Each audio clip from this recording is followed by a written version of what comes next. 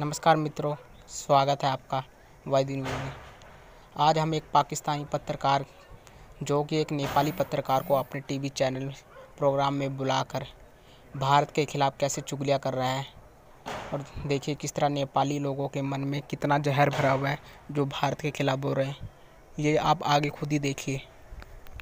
है। साथ ही साथ नेपाल नेपाल और इंडिया के माबेन भी सड़क की तमीर पे और जो नक्शा है, जो टेरिटरीज़ है, नेपाल और इंडिया की जो डेफिनेशन है, वहाँ पर भी फ़र्क आया है। बांग्लादेश में आप देख लें कि बांग्लादेश में भी जब से 370 इन्होंने रिवोक किया है, वहाँ पे जो एक करोड़ के करीब जो बंगाली मुस्लिम्स हैं, उनके स्टेटस के हवाले से भी सवाल आ गया है। तो ये सारी चीज़ें जो खत्े को डिस्टेबलाइज कर रही हैं, इस पर गुफ्तु करेंगे। आज हम चाहेंगे कि थोड़ा सा नेपाल का परस्पेक्टिव भी लें। तो हमें ज्वाइन करेंगे आज doctor Krishna Upadhyay. Doctor Krishna London में मुकीम है, नेपाल से इनका ताल्लुक है और ये पढ़ाते भी हैं आईआर के भी। तीस साल से ज़्यादा ये ह्यूमन राइट्स के इन्होंने सर्विस भी इन्होंने दी है, उस पर भी उन पर गुफ्तु करेंगे। तो डॉक्टर कृष्णा हमें ज्वाइन कर रहे हैं, उनसे गुफ्तु करते हैं। Doctor Krishna welcome to the show thank you ji thank you ji. मैं आपको बहुत शुक्रिया अदा करता हूँ क्योंकि आपने मेरी अपनी बात रखने के लिए जो अपॉर्चुनिटी दी है, उसके लिए मैं आपको शुक्रिया कहता हूँ और जो सुन रहे हैं, देख रहे हैं, उनके लिए भी मैं सलाम कहता हूँ। जी, डॉक्टर कृष्णा, और हम शुक्रगुजार हैं कि आप उर्दू में आप बात कर रहे हैं। आपकी उर्दू भी अच्छी है, जिसमें हम करते हैं। सबसे पहले जो नेपाल और इंडिया का जो इशू बना है, सर ये इसके ज़रा पर्सपेक्टिव करें और नेपाल ने इतना फर्म स्टैंड कैसे ले लिया? हिस्टोरिकली हम देखते हैं कि नेपाल इंडिया पे बहुत डिपेंडेंट होता है। तो इंडिया जो भी चाहता है, नेपाल उसको कर लेता है। ये तासर है पाकिस्तान में भी। तो इस दफ़ा क्या मुख्तलिफ़ हुआ है कि नेपाल ने स्टैंड लिया पार्लियामेंट ने नक्शे को अप्रूव किया, अब सदर ने भी साइन कर दिया। तो क्या डिफरेंट इस दफ़ा हुआ क्या है? तो देखिए, ये जो नक्शे की बात आ रहा है ना, ये इसका कोई हिस्टोरिकल परस्पेक्टिव है। ये है कि जब और हमारे जो जितने भी पड़ोसी है, उनका जब नक्शा या तो सरहद फिक्स नहीं था बॉर्डर फिक्स नहीं था, नेपाल का पहले से ही था, ये वजह है कि नेपाल हमेशा सोबरिन रहा है, वो बरतानिया की हुकूमत में नहीं आए तो जब बरतानिया के लोग वहाँ पे थे और ब्रिटिश इंडिया वहाँ पे था, तब से ही वो उसका जो बॉर्डर था, वो तय हो चुका था। वो तय होने के लिए एक, दो लड़ाई, तीन लड़ाइयाँ हुई। पहली दो बार में तो नेपाल ने हरा दिया ब्रिटिश को, क्योंकि नेपाल बहुत आगे तक पहुँच चुका था, सतलुज तक पहुँच चुका था, वेस्ट में, और ईस्ट में तिस्ता तक पहुँच चुका था। अभी का बॉर्डर नहीं था। तो फिर तीसरी बार जब उन लोगों ने चढ़ाई की तो नेपाल को हारना पड़ा, क्योंकि उनके पास अच्छे हथियार थे, कुछ से कुछ वजह था। तो फिर क्या हुआ? उसके बाद 1814 में एक ट्रीटी हुआ, जिसको सुगोली ट्रीटी कहते हैं। और सुगोली ट्रीटी ने यह कहा कि जो वेस्ट में काली दरिया है नदी है एक बड़ा सा काली के ईस्ट में और इसका जो बंगाल से लगा हुआ एक मेची नदी है उसके ईस्ट वेस्ट का जो ज़मीन है वो नेपाल का है। बस वही ट्रीटी है उसमें वही लिखा हुआ है अब ट्रीटी अभी भी है। तो हुआ क्या उसके बाद? हमारे पास तो पहले राजशाही था 1950 से फिर आ, काफ़ी लंबे अरसे तक 80s तक 90s तक तो फिर क्या हुआ?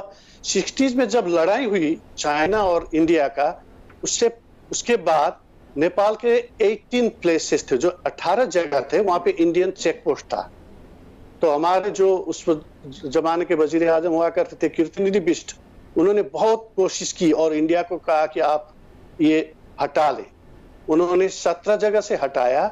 एक काला पानी जो कहते हैं अभी जिस जगह पे हम लोग बात कर रहे हैं उस जगह पे जो हाँ उस जगह से लोगों ने नहीं हटाया। डॉक्टर कृष्णा अब स्टेलमेट आ गया। इंडिया कह रहा है कि जी ये तो हम नहीं जाएँगे वहाँ से। आपकी पार्लियामेंट भी उसको अप्रूव कर रही है।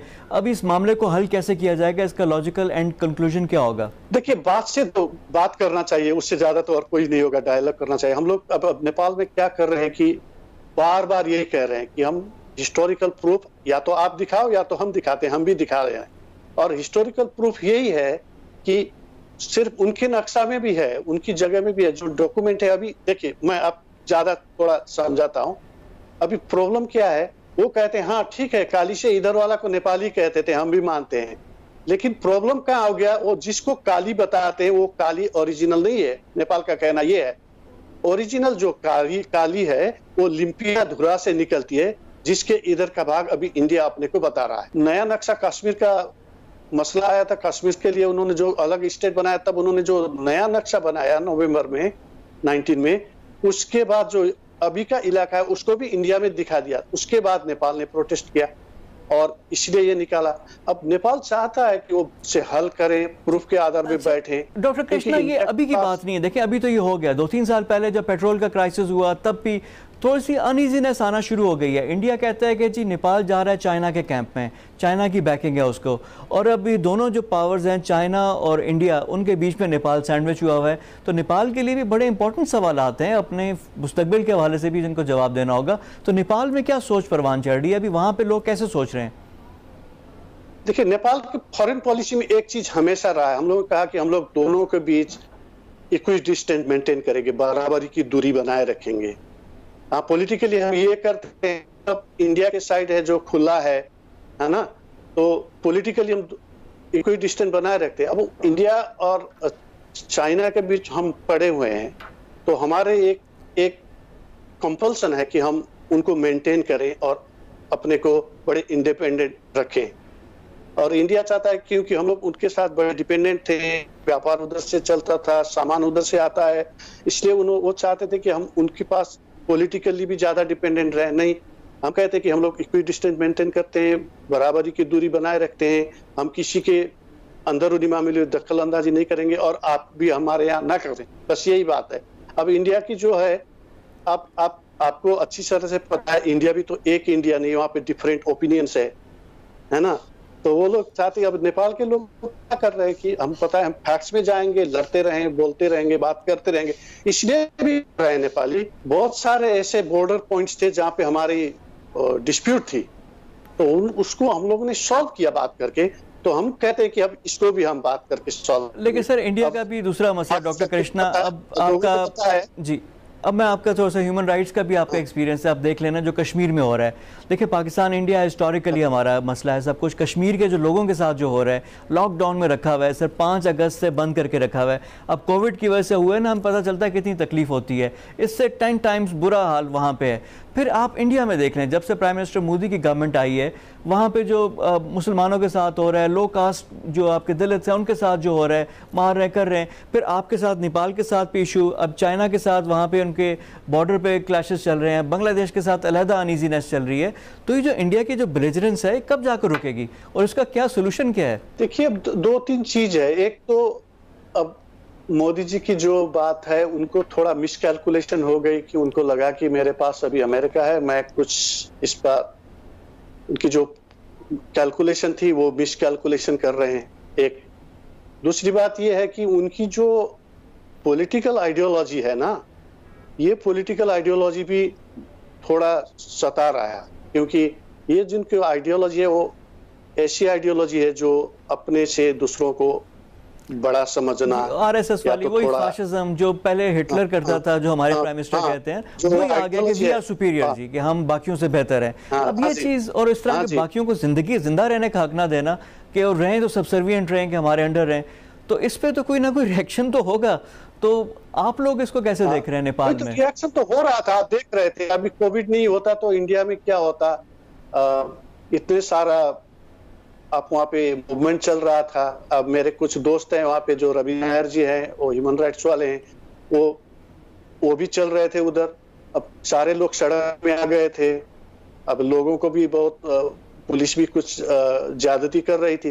फिर भी रोक नहीं पा रहे थे। कोविड की वजह से थोड़ा ये अभी आ, क्या बोलते हैं आ, कम हो गया।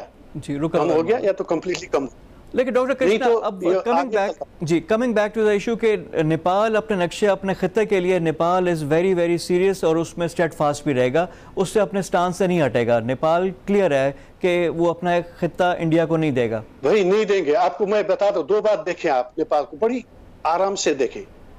एक चीज़ है जिसको लोग कहते थे जो मधेश के लोग हैं जिसकी मूवमेंट हुआ था नेपाल में कहते थे कि नेपाली स्टेट हमको डिस्क्रिमिनेट कर रही है। और जो नेपाल के पहाड़ के लोग थे, मैं, हमारे जैसे लोग, वो भी कहते कि तुम लोग सार, बहुत इंडिया के क्लोज हो, इंडिया के इंटरेस्ट में काम करते हो। वो पहली बार पार्लियामेंट में आए और बहुत ही आपको सेंटिमेंटल स्टेटमेंट देख कहा कि हम इस मुद्दे में आपके साथ हैं, हम सब साथ हैं। देखिए, अभी क्या नेपाल का ये क्या दिखाता है, उसको आपको नेशनल जो कॉन्फिडेंस है ना, वो दिखाती है। एक भी पार्लियामेंटेरियन ने ना नहीं कहा किसी ने भी नहीं ना कहा। कोई भी पार्टी आपकी इसके वो आ, इसकी नहीं आई। यानी पूरा मुल्क सब यानी मिलके नेपाल मुतहद हो गया। और जिस तरह कश्मीर में भी है देख लें हाँ। कि कश्मीर में भी कुछ ऐसी लीडरशिप थी जो इंडिया के साथ थी लेकिन जब से ये पाँच अगस्त हुआ वो भी अब इसमें आ गई। पूरा कश्मीर भी एक तरह से यूनानिमस हो गया कि हमने नहीं कबूल करनी इस तरह की ऑक्यूपेशन तो इसी तरह नेपाल ने भी फैसला कर दिया कि भूटान नहीं बनना। जिस तरह इंडिया भूटान को ट्रीट करता है तो नेपाल कहता है कि we are a sovereign country और हम उस तरह ट्रीट नहीं होंगे। क्या यही बात है? हाँ यही बात है। हम तो ब्रिटिश टाइम में प्रोटेक्टरेट स्टेट भी नहीं थे। आप उसकी रूल में तो नहीं थे नहीं थे। जब ब्रिटिश हम लोग को चाहते कि ना आपको प्रोटेक्टरेट स्टेट देंगे या कि आप अलग सा बना रहेंगे, लेकिन हम आपको बाहर से सपोर्ट, वो भी हमने नहीं चाहा। गरीब थे, लेकिन हम लोग नहीं चाहा कि हम उर्वत में भी हो, फिर भी हमने नहीं चाहा कि हम आप किसी को, आपकी दबाव हम एक्सेप्ट करें, है ना? तो नेपाल की ये ज़बरदस्त साइकोलॉजी का नहीं है एक जात का नहीं है एक लैंग्वेज वाला का नहीं है। ये सब की सब एक होके कह रहे हैं कि ये हमारी ज़मीन है ये हमारी पहचान है। भाई वो तो पहाड़ है कोई शायद बैठ भी नहीं सकता लेकिन पहचान है। आपकी नेशनल पहचान होते हैं ना लोगों को बहुत प्यार होता है। और अपने मुल्क को प्यार करने का सबको हक होता है ना? वही कर रहे हैं नेपाली। नेपाल इसलिए वो दिल की बात कर रहे हैं। हाँ। की बात करें और उसमें यह है कि साइज़ डजेंट मैटर कि जो इंडिया के पास अगर बहुत रिसोर्सेज हैं तो नेपाल के पास जज्बा है और पूरी कौम जिससे आपने कहा कि मुतहद है कि जो इंडिया के हाँ, सिंपथाइजर भी हाँ, थे। तो वही बोल रहे हैं भाई। हाँ और आपकी सोवरेंटी की जो वोट होती है यूएन में जाए तो सोवरेंटी बराबर होता है। वो आपकी साइज़ डिसाइड नहीं कर तो हम लोग आपसे बराबरी के हिसाब से बात करके इसको सुलझाना चाहते हैं। आखिर तो आप जितने भी लड़े कितने भी लड़ाई करें आप जंग भी में भी जाए आखिर बाल लास्ट में तो आपको होता है क्या? आपको बैठना पड़ता है करना बात पड़ता है। करना पड़ता और है डिप्लोमेटिकली इसका करना पड़ता है। इसलिए जी। हाँ लास्ट में जाकर आपको सेटल तो करना ही पड़ता है बात तो करना ही पड़ता है। इसलिए हम लोगों ने कहा कि भाई लड़ने का तरीका भी फ़र्क होता है कोई आप पत्थर से लड़ रहे हैं अभी बोलो चाइनीज़ और इंडियन हम बात से बात कर रहे हैं बस। ना तरीका होता है अपना अपना। जी। तो अभी ये बात है आपने मेरे क्या होने वाला है इसके बारे में आप पूछ रहे हैं ना ये मुझे थोड़ा प्रॉब्लम दिखाई दे रहा है। अभी नक्शा आने के कुछ दिन बाद आप इंडिया के कुछ लीडरों की टोन आपको बहुत रिकॉन्सिलेटरी लग रहा था। बहुत सारे ऐसे इंटरव्यू आए इंडियन मीडिया में जिन्होंने कहा कि हाँ भाई ये जो कह रहे हैं डॉक्यूमेंट में तो है। आप कैसे सुलझाएँ कैसे ये करके एक्सचेंज कर सकते हैं, आप कैसे जा सकते हैं। उन्होंने बहुत बात की। लेकिन अभी जो चाइना के साथ हो रहा था, अभी इनके प्रॉब्लम आ गया। इसके बाद अभी मीडिया ये कहने लगा, भाई, नेपाल भी आँख दिखाने लगा है। हाँ? तो अब फिर भी नेपाली लोग कहते, भाई, हम लोग आँख नहीं दिखा रहे, हम अपने ज़मीन को देख रहे आपके आपके आँख हमारे ज़मीन पे है तो देख के, नहीं तो नहीं लगता। बात ये है ना? आँख नहीं मिला है। तो उन लोगों की अभी थोड़ी सी जो बात आ रही है क्योंकि चाइना के साथ जो अभी प्रॉब्लम बढ़ रहा है उसकी वजह से थोड़ा नेपाल के साथ भी अभी जो हम लोग बात ओपन करने की बात सोच रहे हैं वो थोड़ा रुक रही है क्योंकि देखें चाइना से अगर उनको मार पड़ रही है तो उन्होंने नेपाल कमज़ोर नज़र आ रहा है। तो चाइना के साथ तो कुछ नहीं कर सकते तो सारा गुस्सा अपना नेपाल पे। और यहाँ पे पाकिस्तानी प्राइम मिनिस्टर भी कहते हैं कि फॉल्स फ्लैग ऑपरेशन के पाकिस्तान के खिलाफ भी फ्रंट करके अपनी डोमेस्टिक ऑडियंस को ये कर सकते हैं। Doctor Krishna thank you very much for your time बहुत शुक्रिया आपके टाइम का। बड़ी इंपॉर्टेंट बात आपने की कि Nepal is a sovereign country और जब पूरी नेपाल पूरा मुल्क मुतहद है कि वो किसी की भी बुलिंग में नहीं आएगा कि जो आ, इंडिया अगर चाह रहा है तो नेपाल अपने स्टांस पे बिल्कुल कायम है और निगोसिएशन उसको सेटल करना चाह रहा है। Thank you very much doctor Krishna हमें ज्वाइन करने से नेपाल और इंडिया के माबेन जो काला पानी का जो एरिया था, जो मैप में जो डिफाइन था, नक्शे का एक इशू था, उस पर हमारी गुफ्तु हुई।